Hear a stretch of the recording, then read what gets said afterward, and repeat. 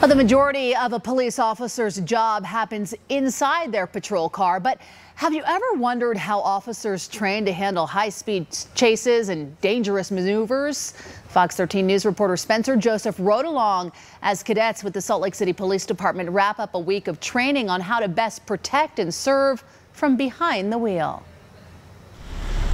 At a hidden training course in Utah County, Salt Lake City police recruits are gassing up and filling up their tires, all ready for a day of speed and agility.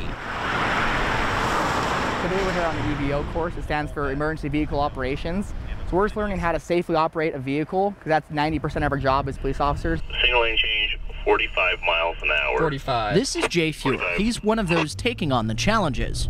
For this exercise, first they accelerate to 45 miles an hour. The instructor calls out a turn at the last second. And their job is to keep the speed steady. 44, 45. Oh, not the easiest task.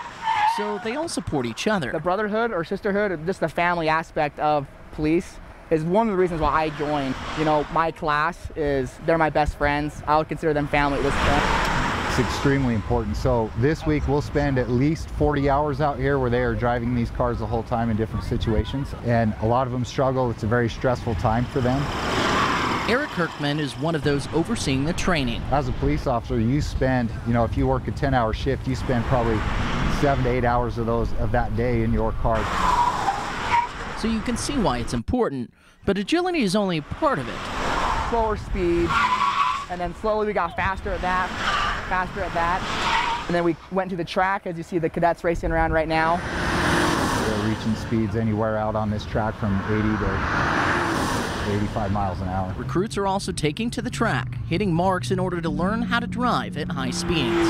So not all of our calls are going to be the extreme calls where we have to chase someone down. Um, a lot of our calls are going to be someone that just needs help, simply needs help, and we have to get there in a safe manner. So as the tires keep squealing and the speeds keep climbing, we're not driving fast just because we can drive fast. That's not the case. It's all for the people of Salt Lake City who might one day need an officer as fast as possible. We all want to be police officers because we want to serve and protect the community. Spencer Joseph. We're trying to get there to help people and we're trying to teach these recruits how to do it as safely as possible. Fox 13 News. We got to get there as fast as we can so we can help those people. Utah.